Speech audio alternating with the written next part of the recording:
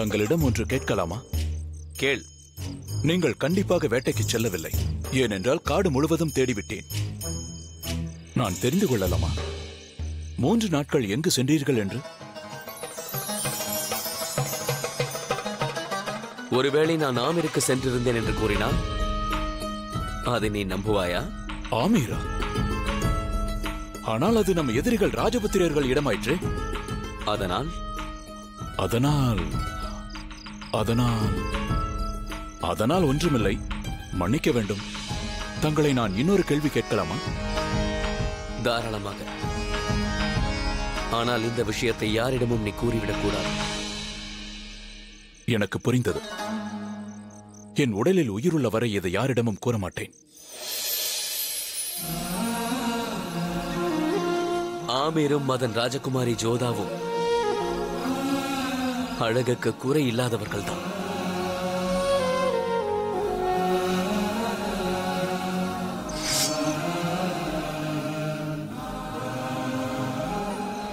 பிறகு எதற்காக இந்த தாமதம்? உடனே ஆமீர் மீது படையெடுப்போம். இல்லை ஷெர்ஃபுதீன் சற்று பொறுமையாக நான் போருக்கு முன்பாக சிலரை சந்திக்க விரும்புகிறேன். அதனால் நாளை சூரிய உதயத்திற்கு முன்பாக ஆக்ராவிற்கு செல்ல திட்டமிட்டுள்ளேன். ஜோதாவை விட்டு வெகு தூரம் முகலாயர்களின் தலைநகரமான ஆக்ராவிற்கு ஜலால் செல்கிறார். முகலாயர்களுக்கு மிக முக்கியத்துவம் வாய்ந்தது இந்த நகரம். பாபருக்கு மூலாதாரம் ஹுமாயூனுக்கோ இது ஒரு கனவு ஜலாலுக்கு இது உயிர். ஆம் இந்த ஆக்ரா. எல்லோரும் கவனமாக கேளுங்கள் தைமூரின் குடும்பத்தின் வாரிசு இந்த உலகத்தை ஆள வந்த சக்கரவர்த்தி பாபரின் பேரன். ஹுமாயூனின் புதல்வனாகிய உலகம் போற்றும் மாவீரர் இந்த தேசத்தின் நாயகன் இந்து தேசத்தின் சக்கரவர்த்தி ஜலாலுதீன் முகம்மது அவர்கள். கான்பூரில் இருந்து ஆக்ராவிற்கு விஜயம் செய்து கொண்டிருக்கிறார் ஜலாலுதீன் முகம்மது. ஜலாலுதீன் முகம்மது. ஜலாலுதீன் முகம்மது. ஜலாலுதீன் முகம்மது. ஜலாலுதீன் முகம்மது. இந்த சாம்ராஜ்யத்திற்கே அழகு சேர்க்கிறது இந்த இடம். இதன் பெயர் பாதல்கர். இங்கிருக்கும் அந்த புறத்தில்தான் முகலாயர்களின் பெண்மணிகள் வசிக்கிறார்கள். இங்கு எப்போதும் ஆடல் பாடல் என்று கொண்டாட்டம் விழா கொண்டிருக்கும். இங்கு ஆடல் பாடல் அழகு எதற்குமே பஞ்சமில்லை. சில பெண்கள் இங்கு நிக்கா செய்து வந்திருக்கிறார்கள். சிலர் வெற்றி பெற்று அழைத்து வரப்பட்டிருக்கிறார்கள். சிலரோ வற்புறுத்தி அழைத்து வரப்பட்டனர். இங்கிருக்கும் அனைத்து பெண்களுமே தங்களை ஷேன்ஷாவின் மனைவியாகவே நினைத்துக் கொண்டிருக்கின்றனர். என்ன மாயமோகினி? சக்கரவர்த்தி எதுவரை வந்திருக்கிறார்? உங்களுக்கு தெரியும் என்று எனக்கு நன்றாகவே தெரியும். அவர் எந்த வழியாக எந்த திசையில் வருவார் என்று உமக்கு தெரியும். இம்முறை அவர் நம்மை வெகுகாலம் காக்க வைத்து விட்டார். ஆமாம் ஆமாம். இவளது கண்களை கொஞ்சம் பாருங்களே. அது எவ்வளவு வாடி போயிருக்கிறது? இவர்கள் அனைவரும் ஷெஹன்ஷாவின் சம்பந்தப்பட்டவர்கள் தான் ஆனால் அவரோ இங்கு தங்கவே மாட்டார். இங்குள்ளவர்கள் அவரின் பார்வை படாதா என்று ஏங்குவர். இன்னும் எவ்வளவு நேரம் காத்திருக்க வேண்டும்? எவ்வளவு வேண்டுமானாலும் முயற்சி செய்யுங்கள். எதுவும் நடக்கப் போவதில்லை. ஆ ஷெயின்ஷா உங்களை ஏறெடுத்து கூட பார்க்க மாட்டார். நில்ல மாயமோகினி. எமது பேச்சை சற்று கேள். இந்த முறை நீ ஏதாவது மாய மந்திரம் செய். அதன் மூலம் சக்கரவர்த்தியின் பார்வை என் மீது விழட்டும். அதற்கு முதலில் உன் உடல் எடையை குறைப்பதற்கான வழியை பார். பிறகு அதை பற்றி நீ பேசு. ஏய் உனக்கு என்ன ஆயிற்று? நான் விழுந்தால் என்ன எழுந்தால் என்ன? ஐயோ. என்னை பற்றி சக்கரவர்த்தியாருக்கு நன்றாக விவரித்து கூறு.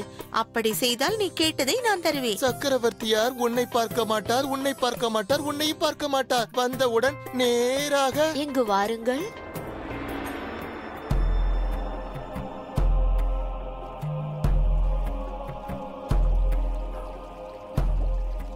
எனது கூந்தலில் வாசனை திரவியத்தை தடவு. அது எவ்வாறு இருக்க வேண்டுமென்றால் அவர் நுகர்ந்தவுடன் மயங்க வேண்டும். அழகியே. இது போன்று வாசனை புகையை போட்டு உனது முடிதான் கொட்டப் போகிறது. சக்கரவர்த்தியின் தரிசனம் கிடைக்க வேண்டுமென்றால் இன்னும் இரண்டு மாதங்கள் காத்திருக்க வேண்டும். ஆ. அவரை பார்க்க கூட முடியாது என்று கூற வருகிறாயா? மொத்தத்தில் புரிந்தது. அப்படி என்றால் மறந்து விடாதே நானும் அவரின் மனைவிதான். மனைவியா? நீங்கள் வெறும் மனைவிதான் ஆனால் அவளுடைய பார்வை நேராக அவருடைய இதயத்திற்கே பாய்ந்துவிடும். ஏன் இப்படி உளறுகிறாய்? அப்படி என்ன இருக்கிறது அந்த ருக்கையாவிடம்? என்னிடம் இல்லாதது. தங்களுக்கு மட்டும் இல்லை இங்கு இருப்பவர்கள் யாருக்கும் அது இல்லை. சக்கரவர்த்திக்கு மனைவி என்பவள் யார்? ஜலாலின் பாலிய சிநேகிதி. ஜலாலை முடியை பிடித்து சண்டை போட்ட பெருமை அவளை மட்டுமே சேரும். ஜலால் நடக்கும் பொழுது காலை இடறிவிட்டு அவரை விடச் செய்தது மட்டுமல்லாமல் தானும் அவர் மேல் விடுவாள். இவ்வாறு அவர் மனதில் இடம் பிடித்தவள் இவள். ஒன்பது வயதில் இவளுக்கு திருமணம் நடந்தது. அப்போதிருந்தே இவரை பற்றி இவளுக்கு தெரியும். அதனால் ஜலாலின் முகத்தை வைத்தே அவர் எப்படி இருக்கிறார் என்பதை பற்றி கண்டுபிடித்து விடுவாள். இப்போது இவள் சிநேகிதி மட்டுமல்ல அவரின் மனைவியும் கூட. ஒவ்வொரு அடியும் அவருடன் நடக்க தன்னை தயார்படுத்திக் கொண்டவள். ஜலாலுக்கு தன் மீது எவ்வளவு நம்பிக்கை இருக்கிறதோ அவ்வளவு நம்பிக்கை ருக்காயாவின் மீதும் உள்ளது. ருக்கையா ஜலாலின் அன்பான மனைவி. அதனால்தான் மற்றவர்களுக்கோ இவர் மேல் பொறாமை. பார்ப்பதற்கு சாதாரண பெண்ணாக தெரிந்தாலும் அரசியலில் அவளுக்கு ஆழ்ந்த அறிவு உண்டு. அதனால்தான் ஜலால் அரசியல் விஷயங்களில் இவளிடம் ஆலோசனை கேட்பார்.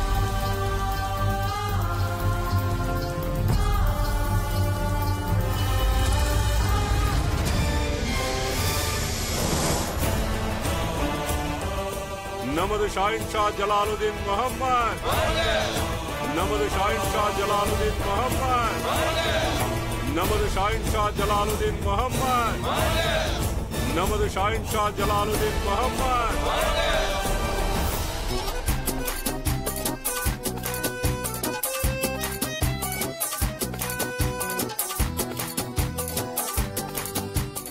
ராணியாரே வாழ்த்துக்கள். சக்கரவர்த்தியார் வந்து கொண்டிருக்கிறார்.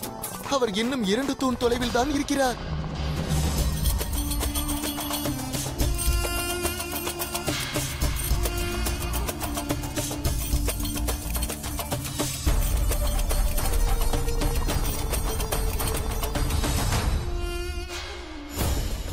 ஜலாலுதீன் முகம்மது ஜலாலுதீன் முகம்மது ஜலாலுதீன் முகம்மது ராணியாரே நீங்கள் இன்னும் அதிக நேரம் காத்திருக்க தேவையில்லை. அவர் மிகவும் அருகில் வந்துவிட்டார்.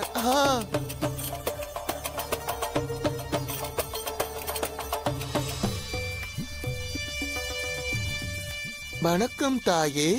சக்கரவர்த்தியார் மீண்டும் ஆக்ராவிற்கு விஜயம் செய்துள்ளார். ஆ.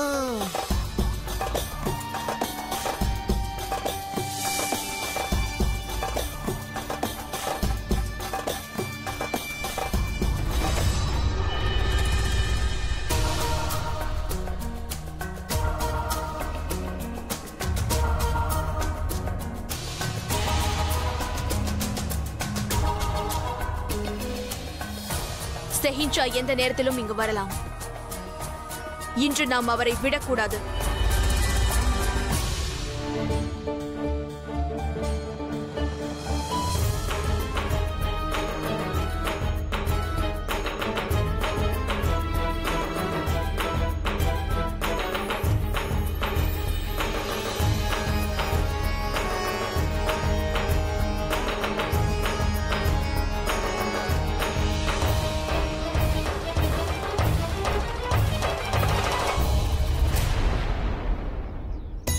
செய்வதற்கும் ஒரு எல்லை இருக்கிறது. நீ வேண்டுமென்றே என்னை தள்ளிவிட்டாய். நான் ஏன் உன்னை தள்ள வேண்டும்? எனக்கு உன் முகத்தை கூட பார்ப்பதற்கு விருப்பமில்லை தெரிந்து கொள். உனக்கெல்லாம் நரகத்தில் கூட இடம் கிடைக்காது. ஆடடா ஆரம்பித்து விட்டீர்களா? பார்க்க வேண்டியவர் நேரில் வந்து கொண்டிருந்தாலும் நான் தான் பார்ப்பேன் நீ பார்க்க கூடாது என்று அடித்துக் கொண்டிருக்கிறீர்கள்.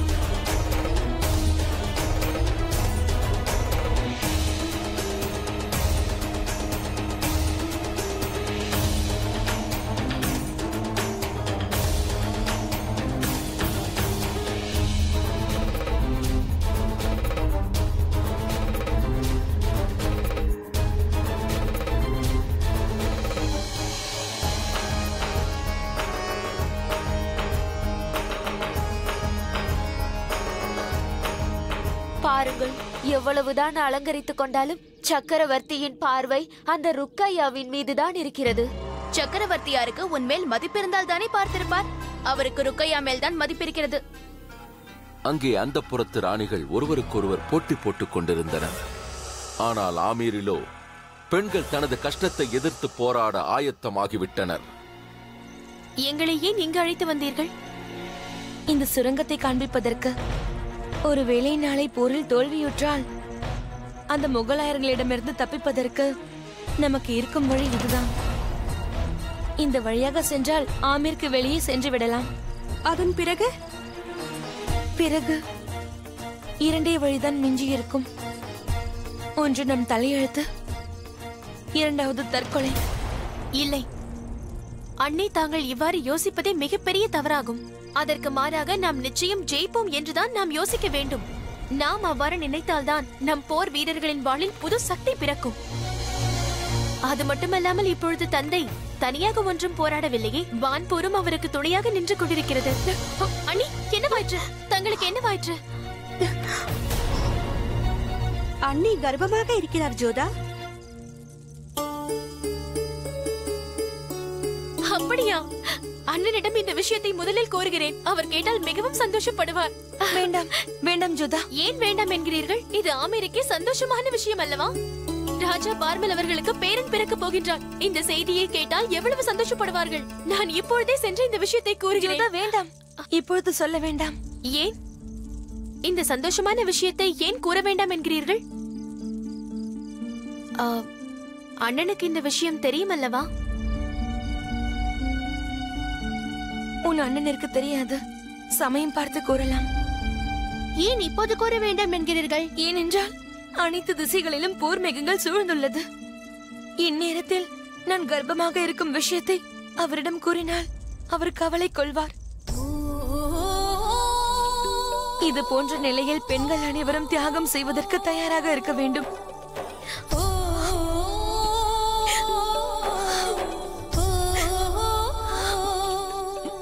என்றால் தியாகம் செய்யத்தான் நாம் பிறந்துள்ளோமா?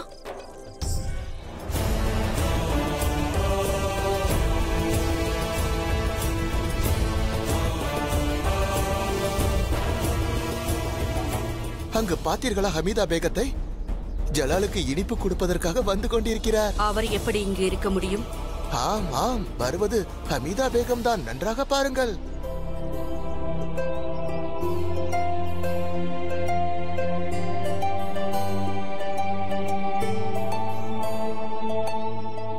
அஸ்ஸலாமு அலைக்கும். தங்கள் வரவு நல்வரவாகட்டும். ஆக்ராவிற்கு தங்களை நான் வரவேற்கின்றேன். இது எமக்கு மிகவும் சந்தோஷமான தருணமாகும். பெற்றுக்கொள்ளுங்கள் இந்த இனிப்பை ஸ்வீகரித்துக் கொள்ளுங்கள். தயவு கூர்ந்து மன்னியுங்கள்.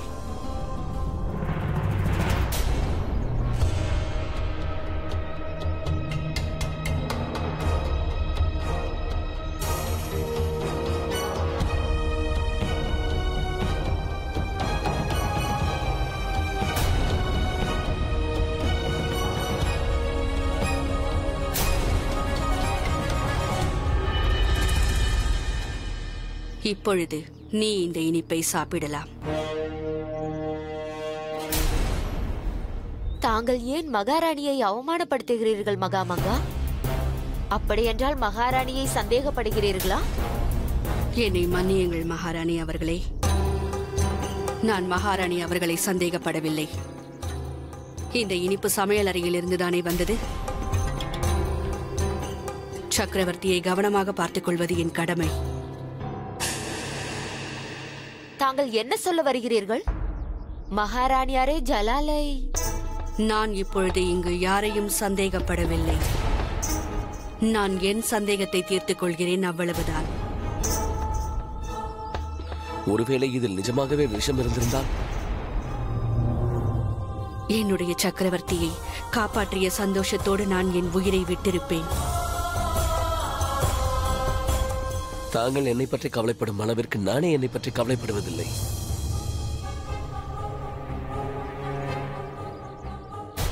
இப்பொழுது இந்த இனிப்பை தாங்களே எனக்கு ஊட்டி விடுங்கள்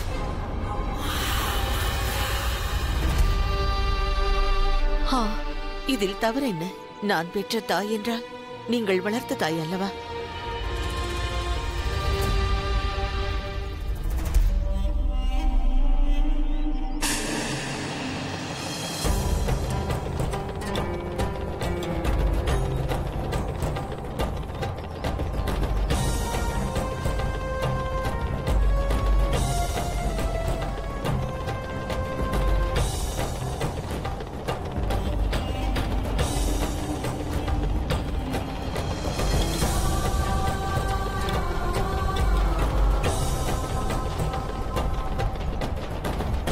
இந்த பெண்ணிடம் மிகவும் எச்சரிக்கையாக இருக்க வேண்டும்.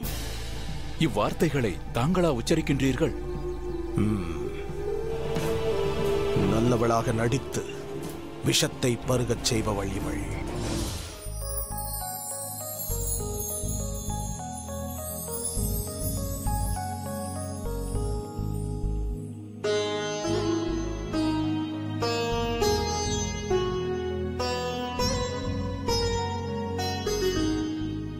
உயிர்களின் இன்னொரு ரூபமும் அழகின் சொரூபமும் தாங்கள் ஆடவர்களின் ஆண்டவன் நீ இந்த ராணிகளின் கனவு தேவன்.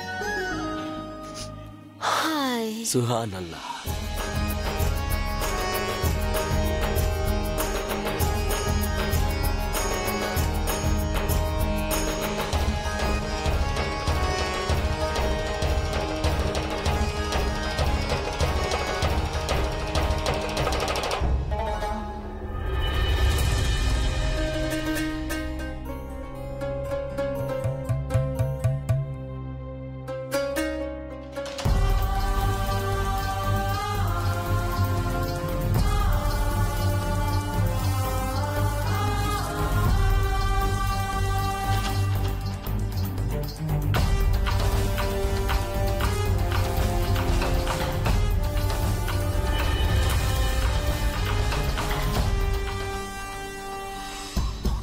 இந்த ரொக்கையாவின் மனதிற்கும் ஆக்ராவின் சாம்ராஜ்யத்திற்கும் உங்களை அன்புடன் வரவேற்கிறேன் சாஹின்ஷா என்ன இதெல்லாம் இருக்கையா விளையாட்டு. தாங்கள் பாதியிலேயே விட்டுச் சென்ற விளையாட்டு. உனக்கு பிடிவாதம் மிகவும் அதிகம். ஏன் இருக்காது? நான் ஒரு பெண் மற்றும் இளமையானவள். அதிலும் இந்த முகலாய சக்கரவர்த்திக்கு மிகவும் பிடித்தவள். பிடிவாதம் எனது உரிமையாகும். தாங்கள் தோற்றுப் போவதற்கு தயாராக இருங்கள். அன்று இறுதியாக நான் விளையாடினேன். இப்பொழுது தங்களின் நாட்டம்.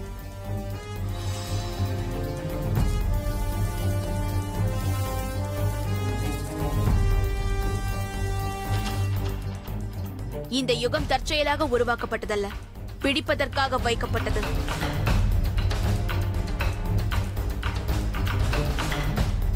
இப்பொழுது என்ன செய்வது? நான்கு புறமும் நீ என்னை வளைத்து விட்டாய். தாங்கள் தோற்பது உறுதி. உனக்கு நன்றாக தெரிந்திருக்கும். என் சிறு வயதில் கான் பாபா என் கரங்களில் வாளை கொடுத்த பொழுது என்னை பார்த்து என்ன கேட்டார் தெரியுமா? முதலில் நீ யாரை கொல்வாய் என்று. அதற்கு நான் என் முதல் எதிரியான தோல்வியை கொள்வேன் என்றேன் அப்போதுதான் அது என் பக்கம் வராது. தோல்வி அடைவதில் எனக்கு சிறிது கூட விருப்பம் இல்லை எனக்கு வெற்றி என்றால் மிகவும் பிடிக்கும். அதனால்தான் என்னை தோல்வியடைய செய்து தங்களை வெற்றி கொண்டேன்.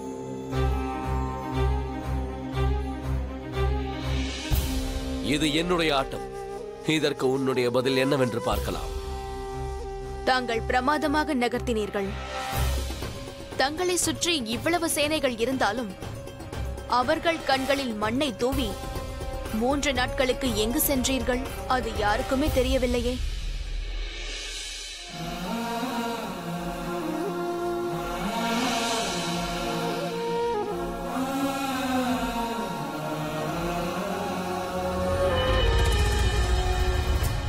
ஏன் மௌனமாக இருக்கிறீர்கள்? புது யுக்தியை பற்றி யோசிக்கிறீர்களா? அல்லது தங்கள் விளையாட்டு தெரிந்துவிட்டது என்றா? எனக்கு புரியவில்லை. உன்னிடம் எதற்காக நான் மறைக்க வேண்டும்? நாம் கணவன் மனைவி மட்டுமல்லாமல் நல்ல நண்பர்களும் கூட. நான் ஆமீருக்கு சென்றேன்.